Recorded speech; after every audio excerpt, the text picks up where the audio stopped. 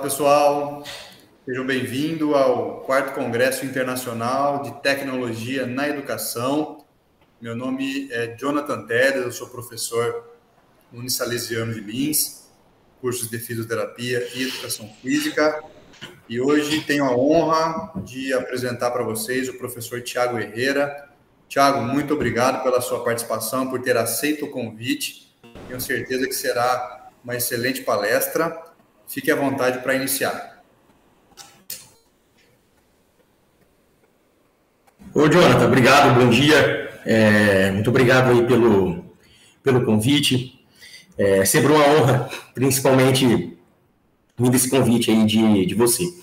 Então, hoje eu vou, vou falar um pouquinho, principalmente, é, do que, que a tecnologia ela acaba ajudando não só a gente na, na área da saúde em si, mas principalmente na, na avaliação autoneurológica. O que, que é isso?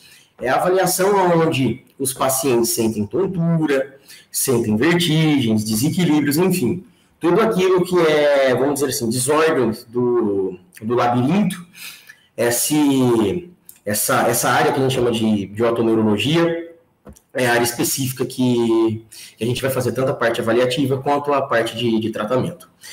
É, quando a gente fala em tecnologia a favor da, da saúde, a gente tem que sempre pensar no que? No que, que essa tecnologia vai ajudar, é, tanto na nossa avaliação do paciente autoneurológico, é, na reabilitação vestibular, quanto no tratamento, porque tem essas duas vertentes aí, tanto a parte avaliativa quanto a parte do, do tratamento. Pode passar. Então, é, antes de tudo, eu gosto sempre de, ou quando vai dar aula, quando vai dar, dar palestra, eu sempre gosto de esclarecer para os alunos o que? Qual que é a diferença de tontura, é, de vertigem, de uma labirintite, por exemplo, de um desequilíbrio. Por quê? Porque às vezes a gente acha que é tudo igual. Ah, é tontura, é vertigem, é labirintite, parece que, vamos dizer assim, parece que está tudo junto. Mas não, são sintomas, são sinais e sintomas diferentes uns dos outros. Lógico, como é comum a gente pegar e englobar tudo isso daí e falar que é tudo labirintite, mas não, tudo isso tem, tem algumas diferenças. Pode passar. A tontura, por exemplo, principalmente, igual eu coloquei no, na descrição. A perca de noção de espaço e tempo ou desorientação, sensação de cabeça flutuando ou pesada. Então, às vezes o paciente ele chega para a gente numa avaliação de reabilitação vestibular, de autoneurologia, e ele fala desse jeitinho que eu coloquei. Pô, Thiago, eu estou sentindo tontura. Como que tá? Ó, a cabeça tá pesada, o corpo tá estranho. Então, isso é um sintoma de tontura. Parece que a cabeça tá louca, às vezes o paciente fala isso daí também. Então a gente já começa a separar isso daí. E coloquei uma observação, podendo ser de origem do sistema nervoso central e alterações neurológicas, alterações centrais. Por isso que a avaliação, principalmente de alguns aparelhos específicos, a gente consegue diferenciar isso daí, se é uma alteração neurológica central ou se é uma alteração periférica. Pode passar. A vertigem, qual que é? Qual que é os sinais e sintomas da vertigem? Então, a sensação de estar em movimento mesmo parado. Percepção de que tudo está girando ou rodando ao seu redor. Como assim? Às vezes o paciente chega e fala assim, Tiago, eu estou sentado, mas parece que eu estou movimentando. Eu não consigo ficar parado, mesmo, mesmo eu estando sentado em algum lugar.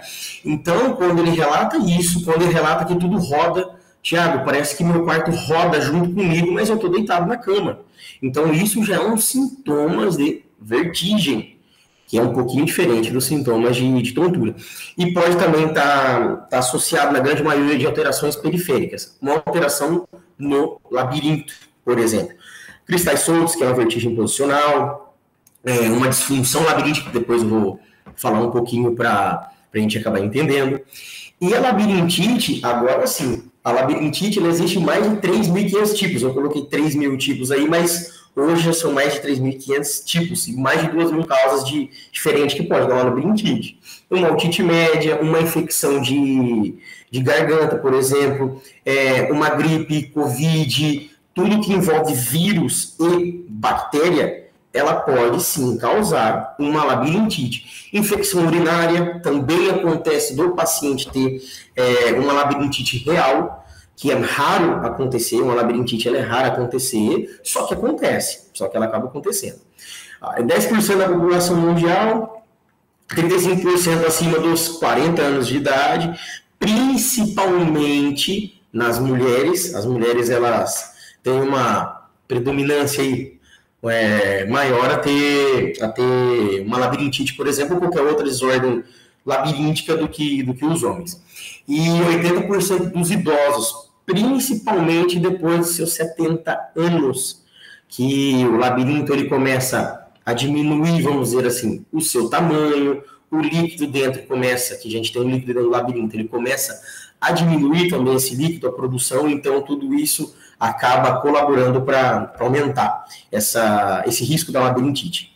E 90% dos pacientes com a labirintite, por exemplo, eles se recuperam com um programa de reabilitação vestibular, que são os exercícios, que é um tratamento específico para para labirintite. E lógico, quando o paciente ele tem infecção, que é uma labirintite, que é uma infecção tanto por vírus ou por bactéria, o que a gente entra com um tratamento, que aí já entra a parte dos do nossos colegas médicos, é a parte, é a parte de anti-inflamatório e antibiótico.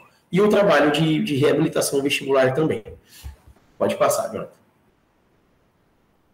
Ótimo. Então, o que, que é essa otoneurologia, que é uma área específica do profissional da saúde para tratar pacientes com tontura, vertigem, labirintite, desequilíbrios enfim, tudo isso que, que envolve o labirinto a gente chama de otoneurologia, que é uma ciência multidisciplinar que envolve tanto o médico, o fono e o fisioterapeuta. Então, os três profissionais aí que podem ter essa, essa especialidade de autoneurologia e reabilitação vestibular. Era dedicado ao estudo do equilíbrio corporal e do sistema auditivo, que, quando afetados, podem provocar sintomas como tontura, desequilíbrio, vertigem, zumbidos e até também perca, perca auditiva. Pode passar. Passo. Isso, pode passar mais um, acho que foi dois slides. Isso. Agora eu vou falar um pouquinho para vocês é, sobre o sistema vestibular. Lógico que, como é uma, uma palestra, por exemplo, eu não vou me aprofundar em, em, em vamos dizer assim, fazer, falar cada detalhe do, do labirinto. Por quê? Porque não, não tem tanta necessidade assim. É, só para a gente aprender o que, que é um labirinto, aonde ele fica, quais estruturas tem ali e o que elas fazem. Pode passar. Aqui um pouquinho da, da anatomia do labirinto. Então a gente consegue ver aqui que a parte labiríntica, ela, principalmente essa parte é, anatômica, topográfica da orelha, né, a gente divide ela em três partes.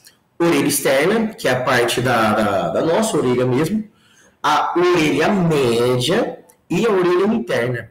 Nessas três, o labirinto ela fica na orelha interna, que a gente chama bem uma porção que a gente chama de porção petrosa do osso temporal, que é a estrutura óssea do, do corpo mais rígida que, que tem no corpo humano, é essa porção petrosa do osso temporal. E dentro dessa porção petrosa do osso temporal está o nosso labirinto, protegido de tão importante que essa estrutura ela, ela é para o corpo, principalmente a parte da visão, do equilíbrio, das musculaturas de tronco, pescoço, membro inferior, membro superior, boca. Então, tudo isso o labirinto também atua.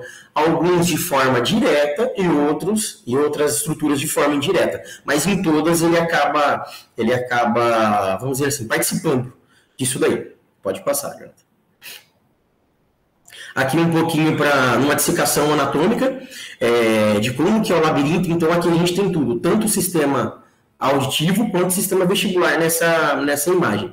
Então ali a gente vê os canais semicirculares, que são responsáveis pelo, pelos nossos movimentos.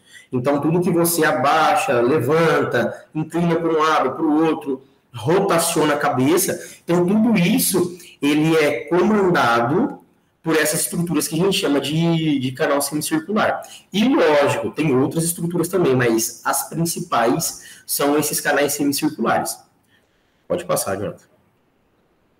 Aqui eu peguei uma, uma outra imagem de uma, de uma dissecação de, de cadáver, principalmente para a gente começar a entender um pouco de, de quão íntimo o labirinto ele é de outras estruturas também. Se, se a gente pensar no, no, numa parte mais global é, dessa, desse labirinto, então a gente vê lá que aqui ele está coberto pela dura mater, principalmente, e do lado a gente vê o gânglio trigeminal passando bem pertinho da região labiríntica. Ali na saída, embaixo, a gente tem um nervo específico que a gente chama de nervo facial, e do lado do nervo facial a gente tem o, o, o nervo vestibular.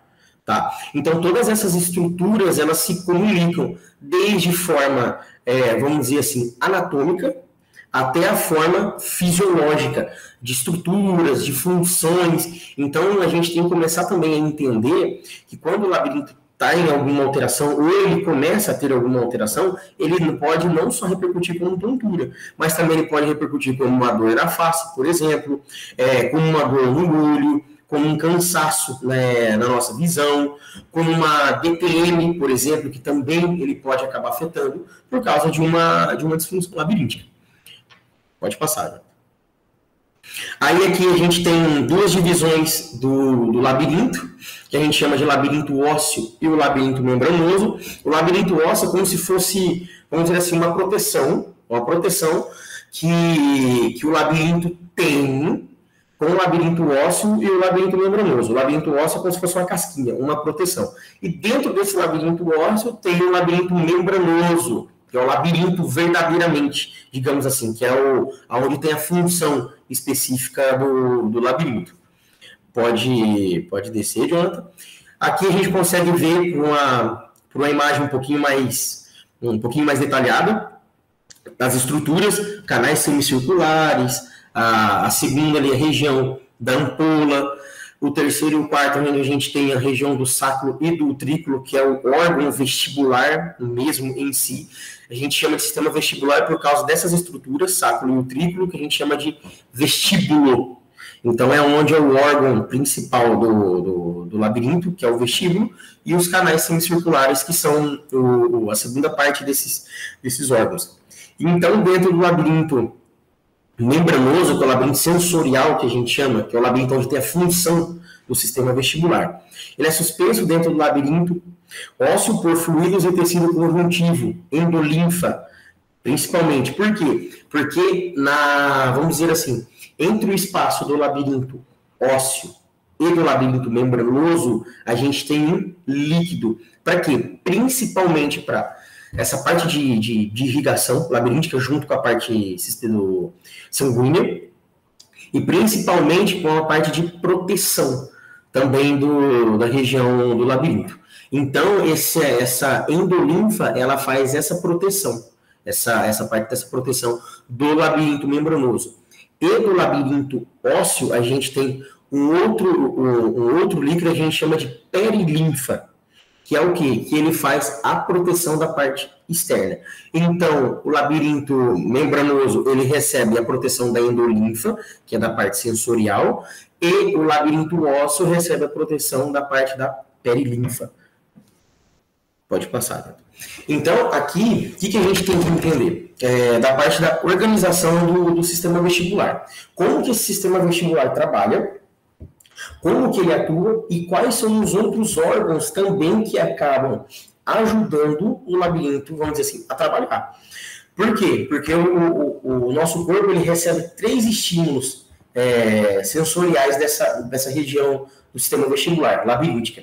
Uma é da parte visual, aí a gente entra da parte visual da nossa visão em si e da parte visual oculomotora, que são as musculaturas dos olhos. Lógico que aqui não, tá, não, não coloquei, mas só para a gente entender que o labirinto também comanda o nosso movimento dos olhos.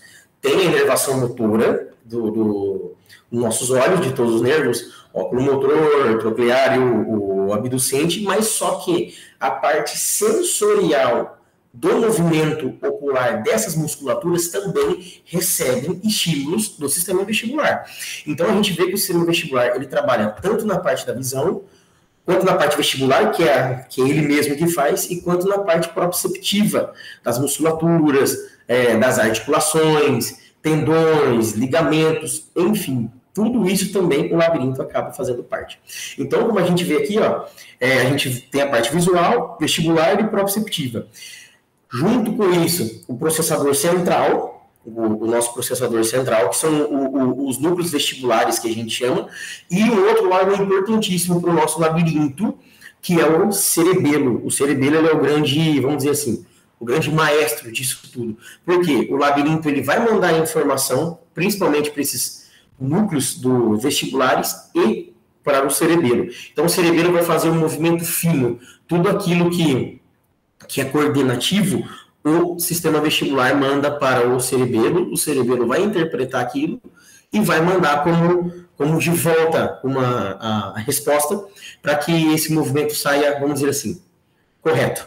Quando o labirinto ele não está trabalhando, quando ele não está conseguindo fazer isso daí, acaba tendo as disfunções labirínticas, que é onde o, o, a nossa tecnologia vai, vai ajudar a gente fazer essa parte da avaliação, ver se é uma alteração central, se é uma alteração periférica. E os movimentos oculares, os movimentos posturais, que, que nós já, já sabemos. Pode passar, Jonathan. E vamos lá. Então, o que, que acontece? Quando o labirinto ele tem algumas alterações, a gente chama de hipofunção. Tá? O que, que seria essa, essa hipofunção? Quando o sistema do equilíbrio, que é o nosso sistema vestibular, da orelha interna, não está funcionando adequadamente. O que, que é isso? É aquelas mesmas alterações que a gente falou lá no início da, da aula. Paciente com tontura, paciente com desequilíbrio, paciente com vertigem, ou até mesmo um, um, um, paciente com labirintite. Então, quando o paciente tem essas, essas características dessas alterações, a gente começa a chamar ou de hipofunção, ou de hiperfunção, ou de assimetria labiríntica, ou de lesão labiríntica. Então, lógico, a gente não vai detalhar tudo isso daqui, eu coloquei hipofunção como se fosse para englobar tudo é, essas disfunções para a gente acabar entendendo o que está que que tá acontecendo. Pode ser por uma neurite vestibular, que é uma inflamação na inervação do, no nervo vestibular, no, no labirinto. A idade também é, acaba, querendo ou não, ajudando um pouco o paciente a ter uma disfunção, porque, como eu falei, o labirinto ele vai, a gente vai envelhecendo, o labirinto vai envelhecendo junto. Ele vai diminuindo o seu tamanho, aqueles líquidos lá dentro que eu acabei de explicar, eles vão, vamos dizer assim, diminuindo a, a, a produção. Então, o labirinto, ao invés dele ficar, é, vamos dizer assim, mais vascularizado, não só da, da parte vascular, mas só que da parte também desse líquido, quando ele vai diminuindo o labirinto, ele também começa a sofrer. Então, ele acaba também, querendo ou não, tendo uma, uma hipofunção labiríntica devido à idade. E a parte vascular também. Pode passar, Jonathan. Então, ó, aqui é uma imagem de que, que é uma função normal do labirinto. Então, a gente vê que os olhos ali trabalhando junto com o que a gente chama de NV, que são os núcleos é, vestibulares, lá na região posterior do, do, do nosso crânio, a região do, do, cerebelo, e do ladinho ali, aquelas parecem uma, uma meia-lua, são as regiões labirínticas, tanto o labirinto do lado esquerdo quanto o nosso labirinto do lado direito. Então a gente que vê, a gente consegue visualizar uma perfeita harmonia entre a parte proprioceptiva, a parte oculomotora e a parte oftálmica, a parte labiríntica e a parte do sistema nervoso central. Então, tudo isso trabalhando harmônico, o paciente não vai ter alteração nenhuma. Ele não vai ter disfunção nenhuma. Ou às vezes ele pode ter uma pequena disfunção, mas só que como tudo está trabalhando, vamos dizer assim, certinho, bonitinho, é, acaba que o, o, próprio corpo ele se adapta, ele vai se adaptando com isso, então o paciente vai vivendo normalmente sem, sem, sem nenhuma sem nenhum sinal e sintoma, sem nenhuma queixa de, de tontura. Pode passar. Agora uma lesão vestibular lateral, que a gente chama de, de assimetria também, então, ó, a capacidade de adaptação durante as informações é, assimétricas, então isso aí acontece por quê? Porque o corpo já não consegue mais é, é, adaptar aquilo, adaptar aquela, aquela disfunção, não consegue mais segurar. Igual a gente consegue ver aqui, o lado, por exemplo, o lado direito do, na imagem está com uma disfunção. Então, o que, que acontece? a gente começa a ver que a comunicação entre o olho, o núcleo vestibular, o labirinto, o cerebelo, ele começa a ficar prejudicado. Ele começa a ficar prejudicado. Quando acontece isso, o paciente vai ter aqueles sintomas de tontura, desequilíbrio, vertigem, dores de cabeça, às vezes náusea, vômito, dor no fundo de olho, é, dor na região cervical, dor na lombar, isso daí acontece também, que é o resultado do, de um processamento neuronal e químico no cerebelo e tronco cerebral, em resposta a um conflito sensorial. Então, tudo isso vai acontecendo como se fosse um sinal de alerta que o corpo vai dando e o labirinto também dizendo que alguma coisa está acontecendo ali. E de fato, se o paciente tiver alguma dessas desses sinais e sintomas, provavelmente ele está com uma, com uma disfunção labiríntica ou com uma lesão labiríntica que, que os nomes é, é quer dizer a, a mesma coisa. Pode passar. E vamos lá.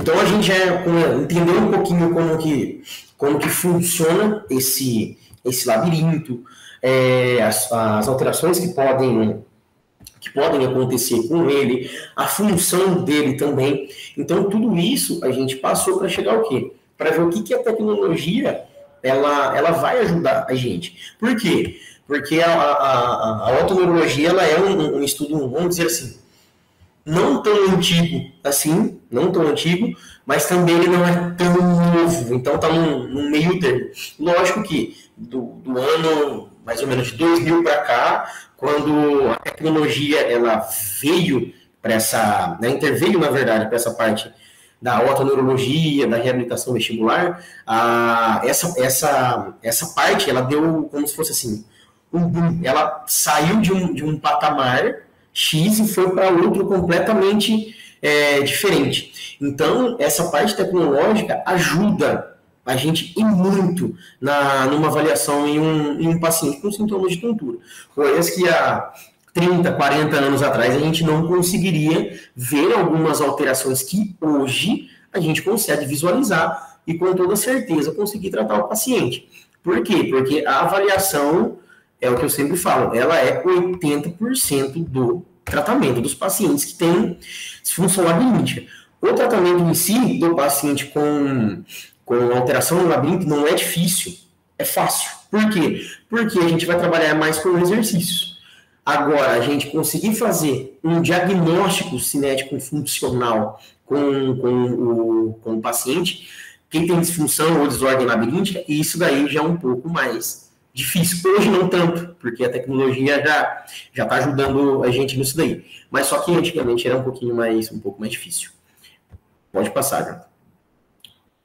Então, ó, tecnologia tem, eh, tem, desempenhado um papel transformador na medicina, oferecendo avanços significativos que melhoram o diagnóstico, tratamento e gerenciamento da, da doença, das disfunções. Foi igual a gente acabou de falar. Ó, essas inovações estão transformando a maneira como os profissionais de autoneurologia diagnosticam e tratam distúrbios auditivos e principalmente distúrbios vestibulares, oferecendo soluções mais eficazes e personalizadas para os pacientes. A tecnologia desempenha um papel crescente na melhoria da eficácia e acessibilidade desses tratamentos. Aqui estão algumas das tecnologias mais relevantes da reabilitação vestibular. Então, aqui, o que, que eu vou, que, que eu propus? Eu peguei praticamente o que mais se é, é usado hoje como tecnologia para a avaliação do, do sistema vestibular. Lógico que não vou entrar em detalhes de como o aparelho, é, de como que, que vai dar o diagnóstico com, com, com o aparelho, de como que vai fazer calibração de aparelho, enfim, eu não quero que, que vocês se atentem a isso. Só quero que vocês entendam que como a tecnologia está ajudando é, a gente nessa parte avaliativa e na parte do, do tratamento. Pode passar, né? Aparelhos, aparelhos e tecnologia, aparelhos e tecnologias para avaliação do sistema vestibular. Pode ir. Então, o que, que o óculos de Fresnel? Depois tem uma, uma, uma imagem. O óculos de Fresnel, eles é uma ferramenta importante na avaliação diagnóstica de distúrbios vestibulares. Eles são usados aqui, ó, para observar e analisar os movimentos oculares, particularmente os nistagmos. O que, que seria o nistagmo? O nistagmo é um tremor involuntário dos olhos. Não é tremor ó, de pálpebra. Não, é um tremor mesmo. É um movimento involuntário do olho que são movimentos involuntários olhos frequentemente associados a problemas do sistema vestibular. Os óculos de frente são usados em consultas de otoneurologia para avaliação de pacientes com queixa de vertigem, tonturas e desequilíbrios. Eles permitem que o examinador remova a fixação visual do paciente, facilitando a identificação de movimentos oculares como no estágio periférico. Por que, que eu coloquei principalmente essa fixação ocular? Às vezes o paciente ele vem com uma alteração labiríntica, um exemplo, vamos dizer assim, numa fase aguda, e com a fixação ocular a gente não consegue ver. Por quê? Porque o sistema motor ele vai tentar suprimir esse, esse movimento dos olhos.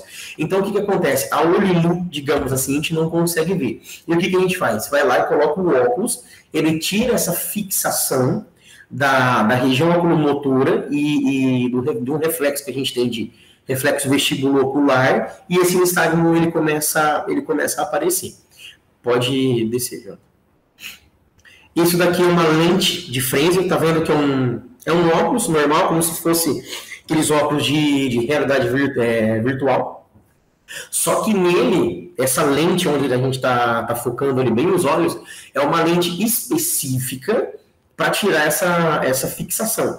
Então, a que tira essa fixação, a gente começa a enxergar, digamos assim, o labirinto através dos olhos. Tanto é que 80%, 90% da avaliação do sistema vestibular do labirinto ela é feita pelos olhos. E avaliação neurológica é, também, principalmente nessa parte labiríntica, quando a gente vai fazer avaliação neurológica na parte labiríntica, ela também é feita pelos olhos. Por isso que esse óculos, principalmente, ele é muito importante.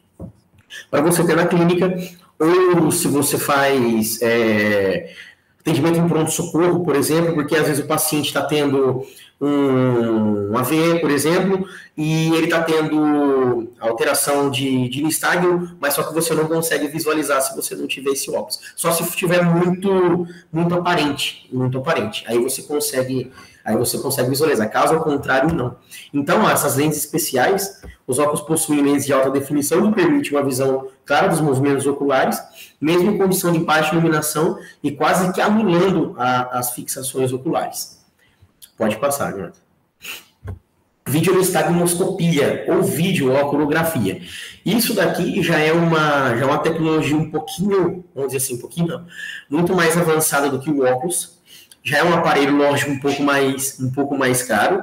Então já é um aparelho um pouco de difícil, de difícil acesso, principalmente para os pacientes de, de SUS, só se for em hospital escola, por exemplo, que, que tem esses tipos de, de aparelho para fazer a, a clínica escola, hospital escola, para fazer esse, esse tipo de avaliação. Então, o que, que acontece? É uma câmera, é um óculos igual aquele, bem parecido com o de Frenzel, com, com óculos de Frenzel, mas só que ele tem uma câmera. E através dessa câmera ele vai filmar e vai ver e vai registrar os movimentos oculares. Então já é uma tecnologia já bem mais avançada.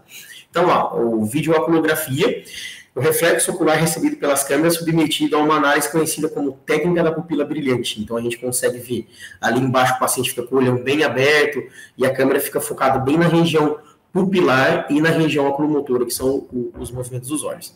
Esse processo faz com que a pupila pareça brilhante em comparação com a íris circundante, que é onde a gente está em si, essa cruzinha bem no, no, no meio do, dos olhos. O contraste entre a íris e a pupila permite que o sistema do vídeo rastreie os olhos. O que é esse rastrear? Permite que o sistema da, da, da tecnologia, ele permite que, que comece a fazer o rastreio dessa pupila. Então, cada movimento, tanto da pupila quanto dos olhos, ele é, ele é registrado. Pode descer, Jonathan. Então, ó, aqui a gente, aqui a gente tem um, um um vídeo no. Isso aqui é uma avaliação que eu fiz com, com o paciente que eu uso em aula. Pode soltar, Jonathan. Então você consegue visualizar ali ó, que o paciente, mesmo com os olhos parados, ele tem esse nistagmo, que é esse movimento dos olhos. Então, isso aqui, vamos dizer assim, a olho nu, é, a gente não, na maioria das vezes, a gente não consegue visualizar. Então, um aparelho desse daqui a gente já, já consegue. Então, a gente já consegue dar um, um, um vamos dizer assim, início de um, de um diagnóstico é, para o paciente que está sofrendo de, de disfunção labiríntica. A gente vê que é uma câmera e ele vai filmando essa, essa estrutura, tanto do olho, da região da pupila, principalmente da região do globo ocular e, e, e, o movimento, que nada mais é que, que o nistagmo. Aqui o paciente está tendo um estágio semi-espontâneo, que a gente chama, que é um estágio periférico. Era um paciente que tinha uma lesão labiríntica, mas era uma lesão periférica, não era uma lesão central. Tudo isso a gente vai conseguindo ver através, através dos olhos e principalmente através da, das câmeras. A tecnologia é, em favor da, da otoneurologia, que é, que é muito importante. Pode passar. VRIT, Head Impulse Test. O VRIT é um, é um teste específico que a gente tem na otoneurologia. Esse VRIT ele pode ser feito de duas maneiras, tanto a olho nu, digamos assim, é um teste que a gente consegue fazer sem aparelhos, mas também é um teste que a gente tem um aparelho específico.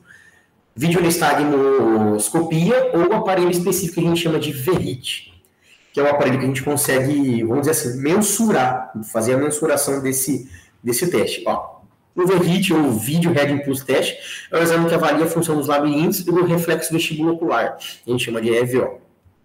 O exame é feito com um óculos que tem uma câmera que captam as respostas, essa parte sensorial. Igual a gente viu no, no, no vídeo anterior, é uma câmera daquele jeito, que ela vai começando a fazer a captação desses, desses movimentos oculares. É um teste complementar que pode ser indicado para pessoas com tontura, vertigem, desequilíbrios, quedas, náuseas e outras é, manifestações neurovegetativas. Então, é, esse é um teste, vamos dizer assim, padrão ouro que a gente tem na, na, na que é, um, que é o teste de HIT. Pode, pode descer. Então, isso daqui já é a, a parte com o, o aparelho do, do, específico para esse teste do VRIT, e do lado a gente consegue ver que isso daí são as mensurações que esse aparelho faz durante o teste. Então aqui a gente vê que o, que o profissional ali, que o colega, ele está, ele tá, vamos dizer assim, posicionando a câmera por cima, focando em um olho só, focando em um olho só. Tem aparelhos que eles fazem com dois olhos, com os dois olhos, mas só que na grande maioria das vezes a gente usa em um olho só, que é, que é o olho dominante, que a gente chama. Então aqui do lado a gente consegue visualizar a função, como que está esse labirinto, se ele está é, tá tendo a resposta adequada ou não, se a resposta está maior ou mais do que o normal, ou menor ou menos do que, do que o normal. Então, nesse aparelho aqui, a gente consegue, a gente consegue visualizar, codificar isso daí e mensurar é, como que está esse, esse labirinto, principalmente através desse, desse teste, que é o teste de Verrit. Pode descer. Aqui tem um videozinho do, do, do, do Red Impulse Test, como que é feito um, um teste de Red Impulse Test, que é o primeiro teste que vai fazer, só para a gente ter uma noção de como que é. Isso daqui ele está fazendo, tá vendo que ele pede para paciente fixar o olhar na ponta do nariz dele e ele vai fazendo esses movimentos que a gente chama de trust, né? É, não chega a ser uma manipulação, mas a gente chama esse movimento de trust, que é o quê? Que é um movimento rápido e preciso. E o paciente ele não pode tirar o olho da ponta do seu nariz de maneira alguma, de maneira alguma. Quando o paciente tira esse, esse olho da fixação, então ele tem um distúrbio de fixação ocular. Então ele acaba querendo ou não, possivelmente tendo uma, uma disfunção labiríntica, por quê? Porque ele não consegue fixar o olho em um objeto, por exemplo, na ponta do nariz, e ele vai fazendo o, os testes específicos. Pode descer. E aqui eu tenho um, um, um teste que eu fiz com um paciente de VRIT, que foi aquele mesmo teste que ele fez, mas só que com, com um aparelho de vídeo nistagmo. Então, mesmo esquema, pedi para o paciente colocar, fixar o olhar na ponta do, do meu nariz e eu vou fazendo os movimentos com a cabeça com ele. E o olho dele não pode sair da ponta do, do meu nariz. Vocês reparem que a hora que vai movimentando, vocês veem que o olho ele meio que salta junto com o movimento.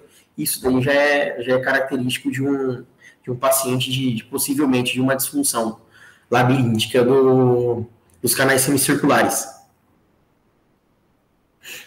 Ele abre o olho, peço para ele abrir um pouquinho o olho, a gente vai fazendo os movimentos, ele não tem essa, essa, essa fixação.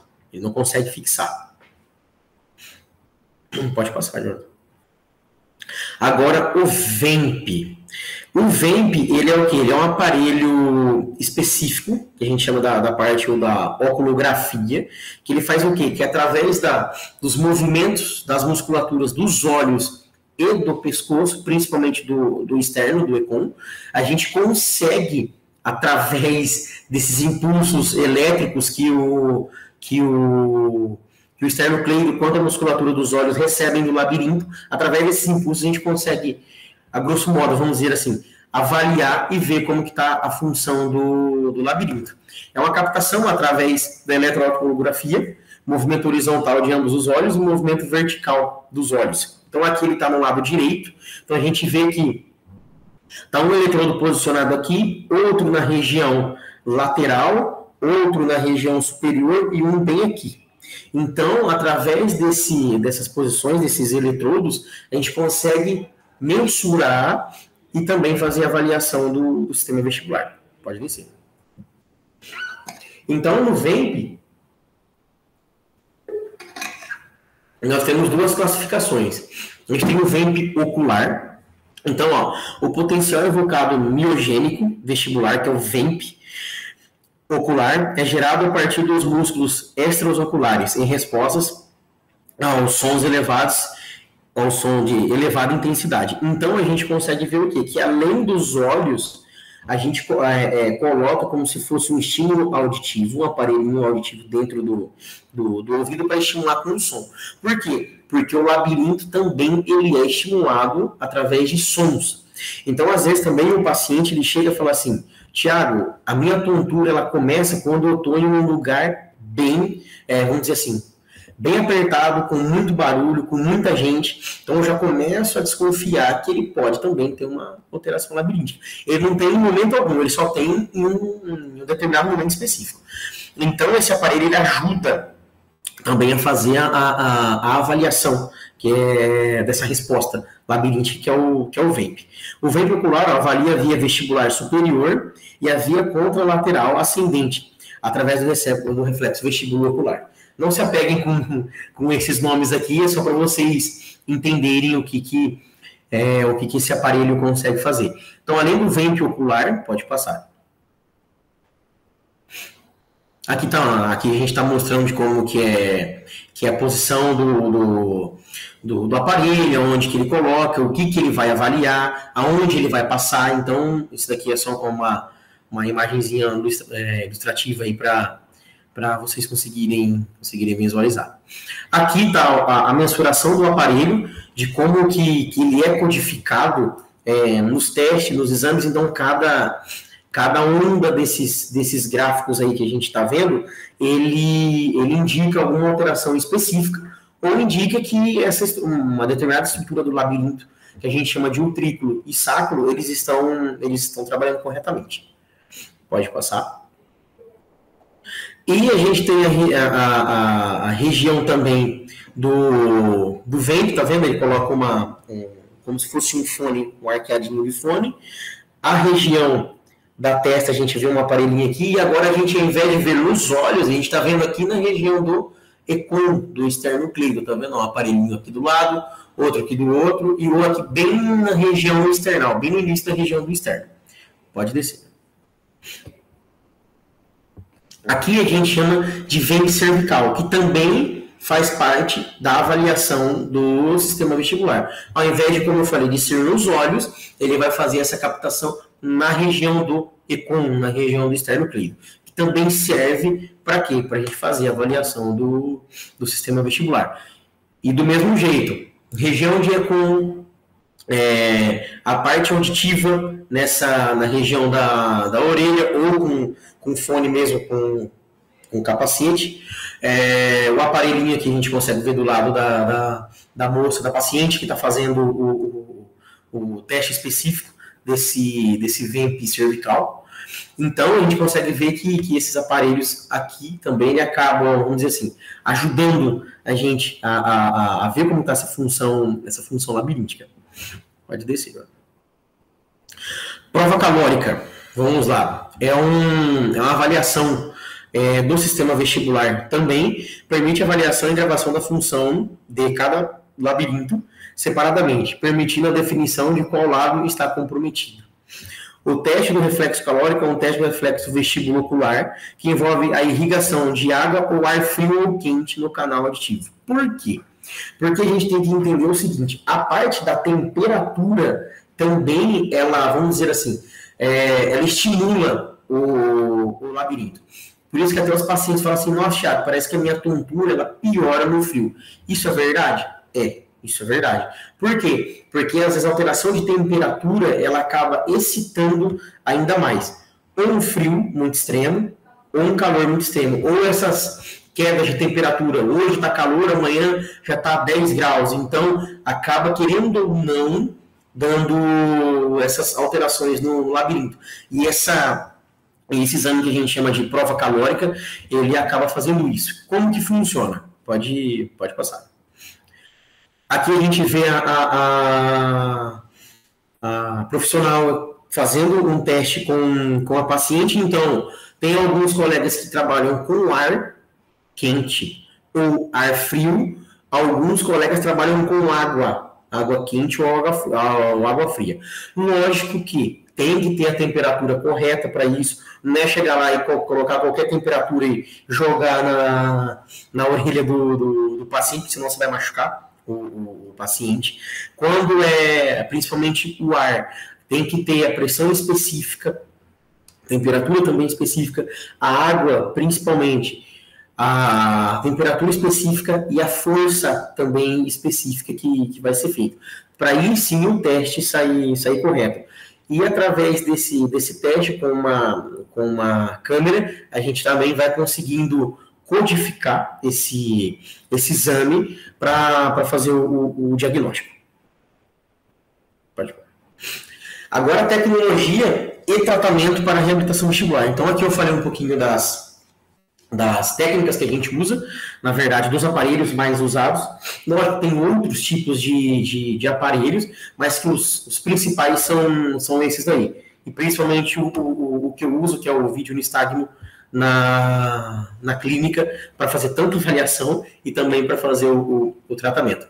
Então, como que funciona? Agora, essa, essa tecnologia também ajuda a gente a fazer o tratamento dos pacientes. Como? Os exercícios labirínticos, por exemplo, de reabilitação vestibular. E o que, que seria a reabilitação vestibular? É um processo terapêutico que visa acelerar os mecanismos de compensação central nos distúrbios do equilíbrio por meio dos mecanismos de plasticidade neural. Então, o que, que acontece? Na parte da reabilitação vestibular, a tecnologia, vamos dizer assim, a coisa simples que você consegue fazer com, com um paciente já dá efeito. Uma tecnologia que eu, que eu uso muito com, com um paciente com, com disfunção labiríntica é a, a esteira. Aí eu uso muito o, o, a esteira para fazer exercícios labirínticos com, com o paciente. Pode, pode passar. Aqui a gente tem um, uma imagem de, de exercício com, com, com um paciente de, de disfunção labiríntica, que não dá para ver direito, mas aqui o, o, o fisioterapeuta, um grande amigo nosso, Léo, ele está usando uma caneta e está pedindo para o paciente ir andando para trás e fazendo movimentos cefálicos e olhando para a caneta para estimular o, o, labirinto. Pode descer. Esse, essa daqui é uma paciente minha, é, de trabalho labiríntico, então, ó, que ela vai andando na esteira, ela vai andando na esteira, eu vou pedindo para ela fazer movimentos com a caneta, acompanhando com os olhos, sabendo que ela vai alternando e ela vai é, tentando se equilibrar em cima da, em cima da esteira. Então isso daqui já é, é um baita de um trabalho que a tecnologia acaba, acaba nos ajudando. Realidade virtual, aqueles óculos de realidade virtual, e trabalho bastante com isso daí, sim, isso ajuda muito. Principalmente nos pacientes numa fase mais não tão aguda, já saindo da fase aguda e indo para a fase de estabilização ou, ou, da fase crônica. Estímulos visuais, proprioceptivos e sensoriais que visam estimular o sistema labiríntico com a tecnologia visual em um ambiente gerado por meio de um computador com cenas e objetos que parecem reais, fazendo com que o nosso sistema labiríntico e visual sintam-se imersos nessa realidade.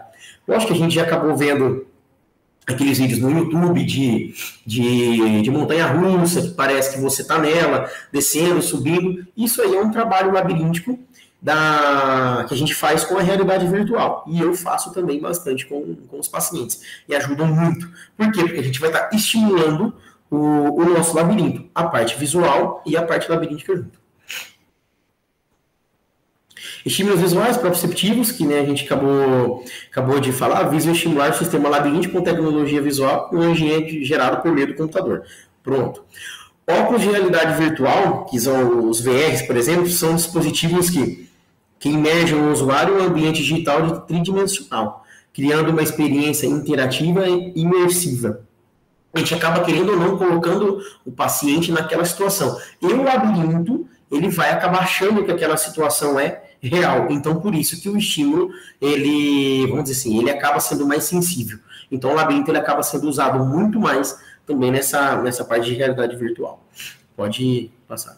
Aqui um exemplo de, de, de uma imagem de um, de um paciente com um trabalho de, de reabilitação vestibular. Então, é um óculos um pouquinho com mais tecnologia, esse óculos já vem com um som acoplado é, num fone para paciente, enfim, já é uma tecnologia já bem mais avançada.